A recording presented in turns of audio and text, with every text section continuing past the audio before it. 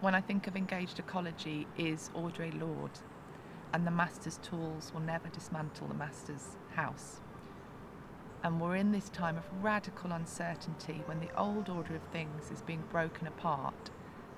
And we're now thinking about things that benefit more than one species when we're one of 8.7 million.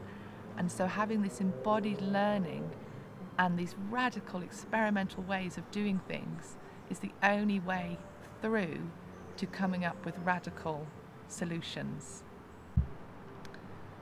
Come January, I can't wait to meet all the students that are going to gather in this place to do engaged ecology and to learn in a way that's radical and to work with a number of local makers to unlock new ideas and ways of solving what's happening in our world now.